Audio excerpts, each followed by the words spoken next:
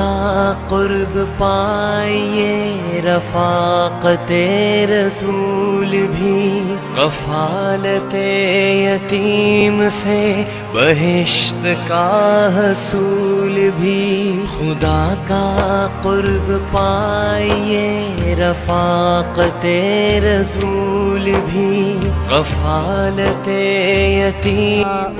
میری بڑی خوش نصیبی ہے کہ آج مجھے یہاں آغوش کا سینٹر، الخدمت فاؤنڈیشن کا یہ جو آرفنیج ہے، ادھر آنے کا موقع ملا، دعوت مجھے ملی، خالد وقاص صاحب اور شاہد صدیقی صاحب میرے ساتھ بیٹھے ہوئے ہیں اور میرا الخدمت کے ساتھ کافی عرصے سے میں ان کا کام دیکھ رہی ہوں ضرب ضب آپریشن کے وقت سے میں ان کی خدمات دیکھ رہی ہوں کہ زمین پہ یہ کس طریقے سے کام کر رہے ہیں۔ اور مجھے بڑی خوشی ہوئی۔ آج جو اسٹینڈرڈ یہاں پہ میں نے دیکھا ہے، جتنی آرفنیجز میں نے آج تک دیکھی ہوں ان سے بڑھ کر جو صفائی کا سٹینڈرڈ تھا، جو بچوں میں میں نے دیکھا ہے کہ جس طرح سے ان کی نگہداشت کی جا رہی ہے۔ سب سے خوبصورت بات یہ ہے کہ قرآن تعلیمات اور شریعہ کے عین مطابق ان میں وہ ویلیوز اور وہ اقدار دیے جا رہے ہیں جو کہ ہمارے لیے پاکستان ایک ایسے مرحلے سے گزر رہا ہے جہاں اس کی بہت زیادہ ضرورت ہے۔ آج جو نائنٹی ایٹ یہاں پہ بچے ہیں، یہ معاشرے میں واپس جب جائیں گے اور جب یہ بڑے ہوں گے تو پاکستان کے روشن مستقبل میں ایک بہت احسن اپنا حصہ ڈال سکیں گے۔ یہاں پہ جس طرح سے بچوں کی پروٹیکشن کے لیے اور بچوں کو صحیح راستے پہ رکھنے کے لیے جس طرح سے وارڈنس کا اور جس طرح سے کیمرہ سرویلنس کا استعمال کیا گیا ہے اور جس طرح سے ان کو ہر چیز میں اس قسم کے اقدار دیے جا رہے ہیں۔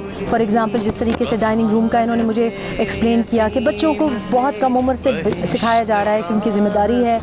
ایک دوسرے کو بھی سرو کرنا، خود بھی معاشرے کے لیے بالکل تیار ہونا، ہر طرح سے مین سٹریم معاشرے کے لیے تیار کر رہے ہیں۔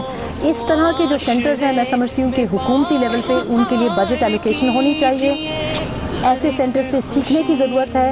یہی پرنسپلز ہم اگر باقی اداروں میں، باقی جو ٹرسٹ فاؤنڈیشنز ہیں، وہاں پہ ہم ان کو انکلوڈ کریں، ان کے ایکسپیرینس سے، تجربے سے سیکھیں، تو بہت آگے جا کے ہمیں فائدہ ہوگا۔ کیونکہ آج ہمارا بچہ پاکستان میں غیر محفوظ ہے اور آرٹیکل پچیس اے کانسٹیٹیوشن کا حصہ ہے۔ اس کے مطابق بچہ پاکستان میں جو بھی اٹھارہ سال سے کم عمر ہے، وہ اسٹیٹ کی ذمہ داری ہے۔